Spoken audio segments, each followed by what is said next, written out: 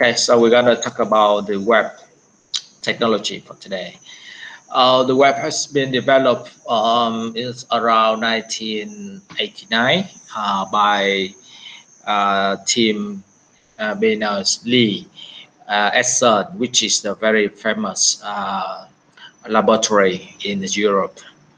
And he um, invented an HTML language for the web coding and uh, uh, HTTP uh, web server and web browser. So we will discuss about those uh, technologies uh, the next few slides.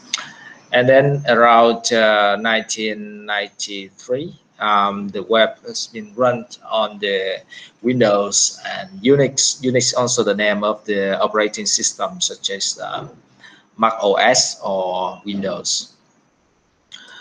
And um, in 1994, you know, uh, at that time, um, the the most famous uh, web browser is the Netscape Navigator. Uh, in your generation, maybe you never heard about this, right? But at that time, it's very famous and the top one at that time. However, in one year later, in 1995, a big competitor appeared which is the Microsoft Internet Explorer we know nowadays. Um, and after that, there's more and more browser appear until now. So you can list them down, right? Such as uh, Opera, Micro, Google Chrome, etc. And behind the website, uh, that's the, the hypertext language, the code. So it's um, the text uh, formatted with the embedded links. So you see that so we can link the website and the documents together. And then we can display the sound or videos uh, on the web. So all of them are using hypertext. And we also use the HTTP, which stands for the Hypertext Transfer Protocol. Um, it's just a rule to transfer uh, the, the, the, files and the content online uh, and to display the content of the website. Um, the URL here stands for the Uniform Resource Locators. Uh, so they will uh, locate the web page. Okay, so for example here, uh, this is the example of a URL like this. Okay, uh, the first uh, portion here is uh, with the protocol. We call that the HTTP. And the name of the website and the folders and the links, you know, folder.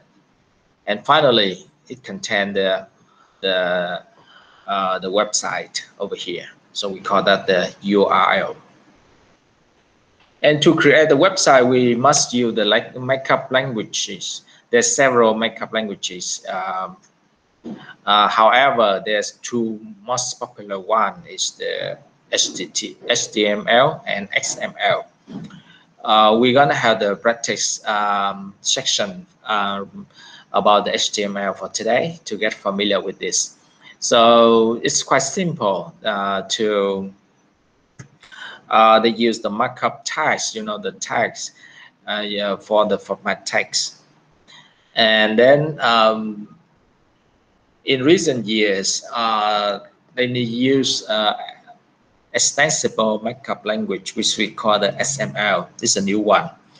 And uh, developed by W3C, which is the organization who control the um, internet and the website uh, or nowadays. So they decide to describe the data and information online and the difference is that the text now they can use to define by the user. So that's the difference between XML and HTML. Uh, the web servers and the web clients, we discussed about the server and client last week. Um, basically, the server may be the hardware, okay, the physical uh, computer or the software such as the Apache or Microsoft uh, IIS over here.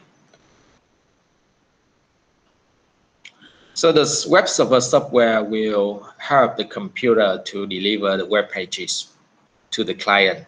Yeah, that's it. Based on the request. So you can see that the web server here, maybe the sub software or the physical server, uh, they will store the database there, right? Or the data of the website. Uh, like uh, Facebook, right? Or just a news um, um, website.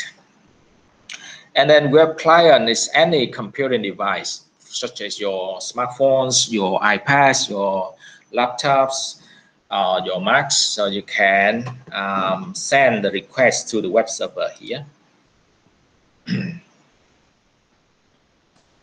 So the web client, when you click to open an app, so it will send a request to the web server, right? The, the, the request over here. And then they will, the web server here now responds the content to the client based on the HTTP request, and then they can display the web uh, web page. Okay, so we call that response over here, response. All right. So that's the meaning of web server and web clients. And to display the content, we must use the web browser, right? Uh, like the IE, uh, Opera, Safari, uh, Google Chrome, and more. Uh, those are the main features of the internet and the web in e-commerce. We can use uh, e email on the web, instant messaging, search engine on the web. Search engine here is not just about Google. There's more, right? Uh, such as uh, Bing or the local search engine in a website. For example, you have the the search uh, box in the uh, Tiki or Shopee's website, right? So that's also we call that the search engine of that website. And now the trend now we're using the the intelligent bots, which are sometimes we call that the chat bots. Okay, so now we can use uh, create the chatbot easily to uh, support the customer services uh, instead of using the the real uh, agents. So we can use the the software to answer those uh, simple queries from the customers. And you can know that the research in the US, they uh, confirm that um, the customer get more and more satisfied with uh, the, the chatbot. Uh, we also have the forums and the chat uh, online, streaming media such as Netflix or cookies. Okay, um, cookies the the, the, the files which can store the historical action of the uh, specific user so we can push like you just discussed about the programmatic advertising. So based on the historical data they can personalize the um, uh, experience of that uh, user. However they can pose some of the uh, privacy threat because they um, record all of the our action online okay, and store the information of the user. So maybe we have the some of the privacy concern about that. Um, but um, cookies are everywhere. We use it almost every day. Uh, the next concept is about the Web 2.0.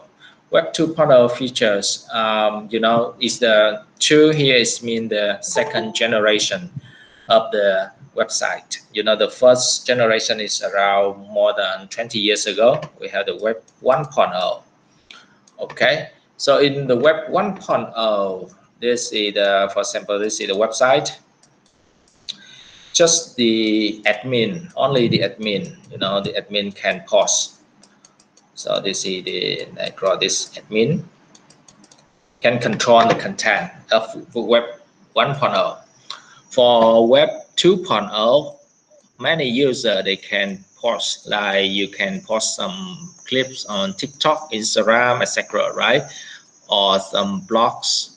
So it's become Web 2.0. It means that the user generated content uh, and they can uh, create uh, more and more social um, media platforms today So without Web 2.0, we don't have the Facebook or we don't have the Wikipedia or um, YouTube or podcasting services. Okay, so Web 2.0 is now everywhere. Um, we also have the internet uh, telephones, as you use the, uh, we can call each other online, like Skype, or the internet television, and um, video conferencing. So we use the internet and we call the IP address to the specific um, peers together. For example, the company, the Japanese company, they have the branch in Vietnam. So a team in Vietnam can have the um, uh, video conferencing with the um, uh, with the headquarter in Japan. Um, a little, a little minor difference between video conferencing and Zoom uh, or the other uh, platforms, you know, it will be more uh, uh secure, you know, because in video conferencing they have they will call directly, and sometimes they will um, um, they will um, they use the IP um, to call you know, and they they use a private line as well. They they, they rent for that service. So it's not like, like Google Meet or Zoom. So it's just quite popular. So it's um, raised some of the security issue. Uh, so it's a little bit different. And we also have several web apps such as uh, many around us, right? Like Canva, right? You can use Canva, some widgets, uh, some of the software library, uh, or Dropbox, or cloud services, etc. And the mobile application being taken off, you can see that the number of apps on the um, um, CH Play or App Store increasing day by day. So that is about the web. And those are the questions for uh, recording uh, and discussion for uh, this chapter. Uh, so why would Google and others allow their software to be combined with uh, other software? What is the potential benefit to consumers? Why would mashups be supportive of the contextual advertising.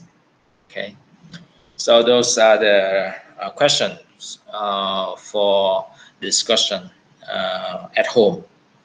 Okay, so do you have any question?